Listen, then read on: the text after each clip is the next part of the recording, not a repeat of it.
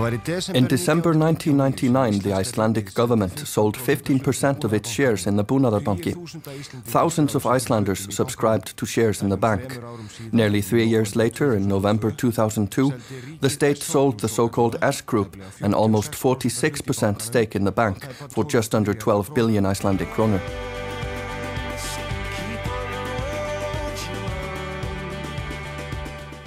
The bank Búnaðarbankin was given the name Kaupthing and immediately became prominent in Icelandic business.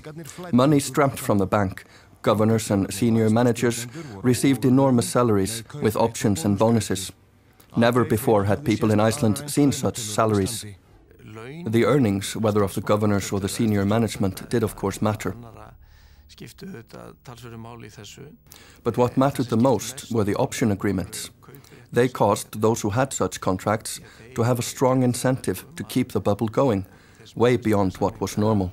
ríkan kvata til þess að gera hvað þeir gátu til þess að halda bólunni þanninni eh, langt umfram það sem að, að eðlert talist. The banks in Iceland weighed greatly in the index of the Icelandic Stock Exchange, and the index peaked in July 2007. At that time, the index had risen by almost 330% since the beginning of 2004, a fact that is unique among advanced economies, as is stated in the report of the Investigative Committee of the Parliament. The behavior of Kaupthing as well as Landsbanki and Glitnir meant that there was no validity to the Icelandic stock market. The prices were simply false and in no way reflected any reality other than the one that the chief executives of the banks were trying to create. At the beginning of 2006, stock prices fell in Iceland, mainly because of speculations in the foreign media that the Icelandic business expansion was built on sand. Despite this temporary setback in share prices, the shares of all the Icelandic banks rose considerably in the following years. From the beginning of 2004 until July 2007, the price of the shares in Kaupthing rose 536%. We thought we could double in size, and we did, every year for eight years. We thought we could increase our balance sheet, and we did, by 500% in just three years. We think we can continue to grow the same way we always have, by outwitting bureaucracy, by moving faster, being flexible, building clients' businesses and our own, and have fun doing it. What is Kaup thinking?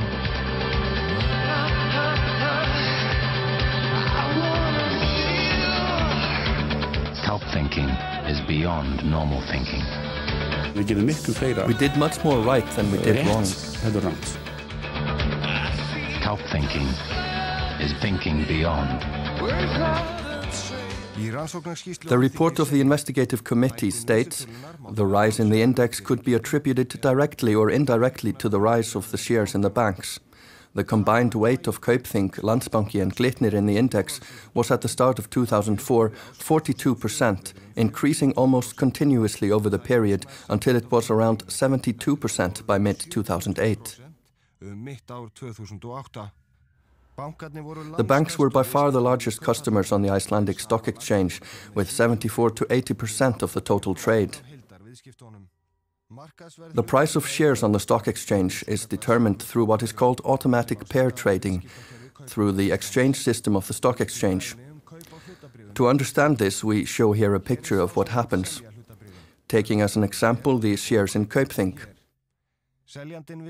Here's the seller, the exchange is here and the buyer here.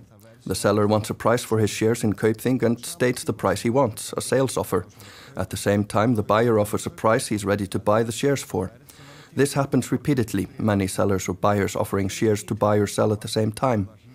When buyers and sellers agree on prices for the shares, so-called automatic pairing, a market value is reached. To influence the market with automatic pairing, a broker can update his offer so it always matches the best sales offer. By flooding the market with offers to buy, a broker can influence the market price of the said shares. The market value is the last price paid for the shares and it may have risen, fallen or remained stable due to the activities of the broker. sem síðast var greitt fyrir brefin getur hækkað, lækkað eða staðið í stað vegna viðskipta viðkomandi miðlara. Annað One key factor in influencing the pricing of shares is to place a bid at the opportune moment. Certain times of the day, the opening and closing of the stock exchange, can play a key role in the pricing of shares. Opening bids indicate the reference price for trading on the day, and the last minute bids indicate the value of the shares at the closing of the exchange. These prices are indicative of the status of the shares on the market. Senda skilabóðum stöðu hlutabrifana út á markaðinn. Í bréfi A sem letter sent by the Icelandic Exchange to the Financial Supervisory Authority early in 2009 states that from May to October 2008, Kaupthing had been behind more than 70% of the opening bids and more than 60% of the closing bids for shares in the bank itself. Subsequently, the media carried news of the price of shares in Kaupthing at the opening and closing of markets. Markaða. opnunartilbúin skipta The opening bids mattered greatly as they set the trend for the day's trading. The price in the opening bid is the price that takes into account the events since the market closed the previous day until the markets opened that day. The closing bids are even more important because they decide the price is used in the valuation of assets. So, when the pension funds or mutual funds are estimating the value of shares, it's determined from the closing price.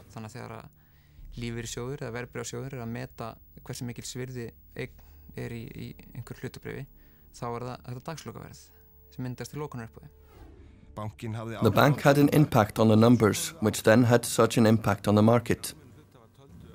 The general shareholders thought that this was normal business, but the cases I have seen are pure market manipulation.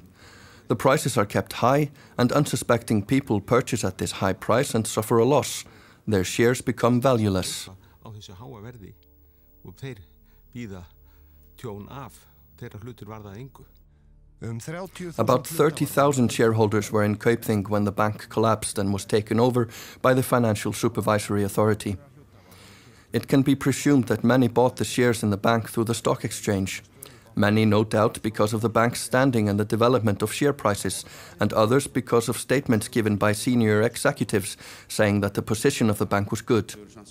The shares fell today, but in spite of that, they have risen 8%. Yes, you heard right, they have risen 8% since the beginning of the year. All the news in the media is, of course, important. Markets are based on information and publicity. When price hikes are extolled and so forth, it obviously has an effect. Þar fram eftir guttunum þá hefur auðvitað áhrif Kaupþingsbanki Kaupthing had a way to deal with its own shares through two departments or levels within the bank. On the one hand, the department of its own trading, and on the other hand, through the brokerage. These levels within the bank were to be completely separated and no flow of information whatsoever between them. But in the case of Kaupthing, they were both under the same department, the Department of Capital Markets. The role of the department of the bank's own trading was to buy and sell shares in itself and other companies with the aim of making profit for the bank. It seems, however, not to have been the intention of the bank, as Kaupthing's own employees bought much more than they sold of all paired trades in their own shares in the years 2005 to 2008, both on the exchange in Iceland and in Sweden. The role of the brokerage was to sell shares, either in the bank itself or other businesses, to the bank's customers. This department was responsible for conveying the enormous amounts of the bank's trades with shares in itself to special customers with reported off exchange transactions. The sale of shares in this manner, therefore, had a very limited impact on share prices. The graphic shows the stock exchange, proprietary trading division of Kaupthing, the bank's senior management, and the brokerage that sold the shares acquired by the proprietary trading division. sem brefin streymdu í gegn. The alleged illegal practice, i.e., market manipulation, was conducted through the bank's proprietary trading division, which bid non stop for the bank's shares through the bidding system and the stock exchange, and created a huge demand for the shares of Kaupthing. The bids were accepted, and the proprietary trading department bought shares in the bank itself. They accumulated on the bank's trading book but must not exceed the 5% statutory limit. Therefore, it became necessary to unload the shares from the bank. The brokerage took care of that part by selling the shares again in off exchange transactions, which they were not required to report to the exchange. Through this process, the bank could continue to buy shares on the market and thus indicate a false demand for its own shares. Favored clients were then allowed to buy the shares from the bank's brokerage department, and it was made easy as Kaupthing made out loans to them for most of the price or wholly taking as collateral the shares themselves. They were in a hurry to rid the bank of the shares, and in fact, this is the most important part of the alleged violations, as the bank had to dispose of the shares. That they did through a complex cabal and at a high cost for the bank.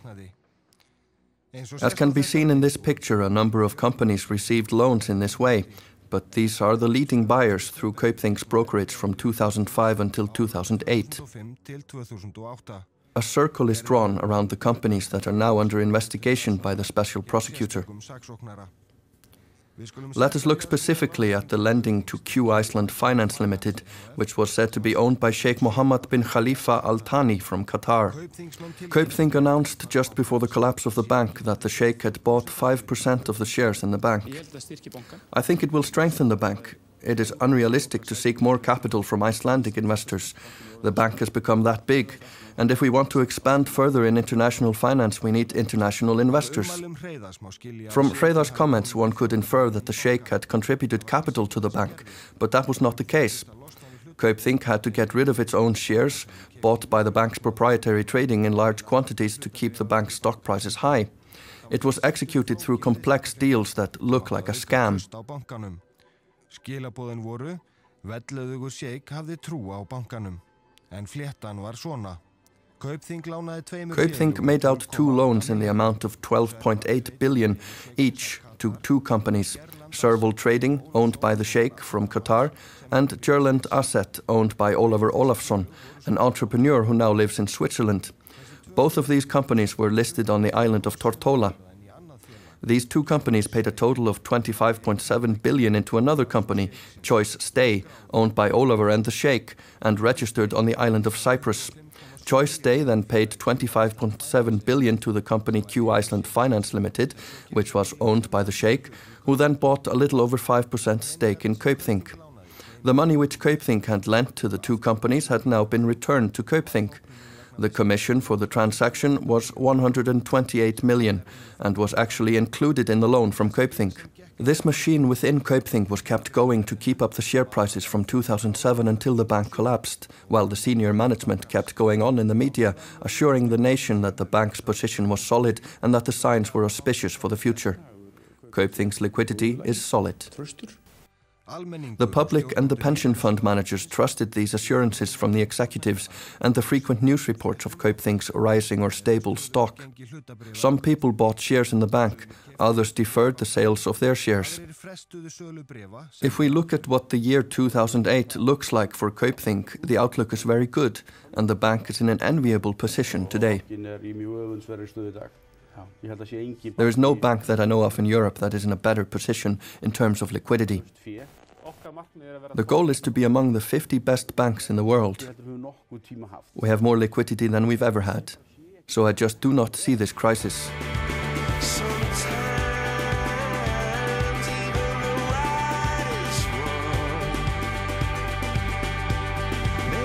After the collapse of the banks, speculation about their possible market manipulation surfaced, and these suspicions were strengthened by the report from the Parliament's Investigative Committee. The report states that there is an overwhelming likelihood that the transaction of the banks with their own shares have been implemented in order to mislead the demand for the shares, thereby affecting their prices. This is a very serious offence, probably the worst prior to the crash and the most important. The amount runs to tens of billions and the damage is enormous. Eh, Uppæðirnar hlaupa á 20 miljardar og tjónið er gríðarlegt. In the charges leveled by the Financial Supervisory Authority, it is stated that from June to October 2008, the net purchases of shares in proprietary trading in Kaupthing ranged from 60 to 70% of the total purchases each month on the exchange. This means that the bank's employees in proprietary trading bought three out of every four shares in the bank that were for sale, and thus held up the share price. Af hverjum fjórum hlutabrifum sem voru til sölu í bankanum og heldu þannig uppi verði brefana. The FSA believes that the extensive buying and proprietary trading of shares issued by the bank has led to an incorrect picture of the demand, turnover, and price of the shares. The FSA further thinks that this process was well organized and systematic, and its purpose to begin with was to raise the stock price, then support it, and eventually delay its fall. Hlutabrifana, síðan styðja við það og að lokum tefja fyrir falli þess, segir í kæru fjármáleftilitsins. It's very difficult to assess the damage caused to society. Indeed, some have gained who bought the, when the share prices were low and sold before it crashed. But those who bought when prices were high and were holding on to the shares when everything collapsed, they have lost a great deal. hafa tapað miklu og svo Those who lent money to the banks also lost a great deal, and these figures are very high. This hide and seek incurred great losses to the bank, both because of the loss from proprietary trading and because of loans given to purchase these shares, loans with no guarantees whatsoever. The amounts stated in the charge from the FSA are incredible. For example, net purchase of shares in proprietary trading was 96 billion from November 2007 to October 2008. It can be mentioned in passing that the exchange loss in proprietary trading of shares issued by the bank amounted to 19 billion. Added to that are the losses of loans given to buy shares in the bank itself, amounting to tens of billions. This behavior adversely affected the integrity of the securities market in Iceland, as it can be assumed that the market gave a misleading picture of demand, price, and volume of shares in Kaupthing within the aforesaid period. The report from Althing's investigative committee states that since 2004, Kaupthing's proprietary trading department has diverted more than 237 billion into bids, while the selling amounted to 96 billion. The difference is nearly 141 billion. The complaint from the Financial Supervisory Authority to the Special Prosecutor draws a bleak picture of extensive market manipulation. The alleged violations include deception in which the market value of the banks was jacked up. At the same time, the bank's infrastructure was weakened with massive loans without any collateral. Kaupþing beitti sér í Kaupthing used the Swedish stock exchange in the same way as the Icelandic one for selling its shares. Everything was done so that the numbers looked good. Two years ago, the Financial Services Authority reported 12 former employees of the bank for alleged market manipulation to the Office of the Special Prosecutor. These former employees are Sigurdur Einarsson, Executive Chairman, Hreiðar Már Sigurdsson, CEO, Ingólfur Helgason, also CEO, Kaupþings á Íslandi, Steingrímur Páll Kárason, Director of Risk Management, Guðmundur T.H. Guðmundsson, Managing Director of the Treasury, Kaupþings á Íslandi, Einar Pálmi Sigmundsson, Director of Proprietary Trading, Frosti Reyr Rúnarsson, Head of Equities, Birnir Sær Björnsson, Broker in Proprietary Trading, Pétur Kristinn Guðmarsson, Broker in Proprietary Trading, Þorvaldur Lúðvík Sigurjónsson, Director of Proprietary Trading, Helgi Sigurðsson, Director of Legal Services at Kaupthing, and Rúnar Friðriksson, Broker in Proprietary Trading, who has the status of a witness in the case. These individuals are considered to have been engaged or having knowledge of the alleged market manipulation at the bank. Since 2007, the bank's directors received a daily report in which the status of the bank's shares in itself was listed. Evidence shows that the Risk Management Division concealed this information from April 2007 by faking a report to the board about the ownership of the bank's shares in itself. And there was something to hide, as the position of Kaupthing's shares in itself from early January 2008 was about 42% of its business portfolio, but went up to 92% by the 8th of October 2008, the day before the Financial Supervisory Authority took over the bank. Many of those under indictment owned a large stake in the bank. Sigurdur Einarsson, executive chairman, had nearly 5.9 billion, Hreiðar Már Sigurðsson 5.3 billion, Ingólfur Helgason just over 2.4 billion, Stengrimur Páll Kárásson more than 1.5 billion, Guðmundur. Guðmundsson just over 250 million, Einar Pálmi Sigmundsson nearly 150 million, Frosti Reyr Rúnarsson nearly 800 million, and Helgi Sigurðsson, Director of Legal Services, had nearly 570 million. As is apparent from the charge of the FSA, there is ample reason to explore the connection between the bonuses of employees of Kaupthing to the prices of its shares. One thing is clear that each change in the price of the shares had a significant impact on the equity of those connected with the alleged market manipulation. The bank's chief executives were arrested in May last year and remanded to custody. They would not talk to reporters. Sigurður Einarsson, former chairman of Kaupthing, did not heed the summons of the special prosecutor to appear for questioning and was placed on the wanted list of Interpol. More than two months later, he showed up for questioning. The alleged market manipulation of Kaupthing is being investigated by the Office of the Special Prosecutor. It is not yet clear when the investigation will be over, but it is far advanced, and when done, it will be clear whether charges will be brought or not.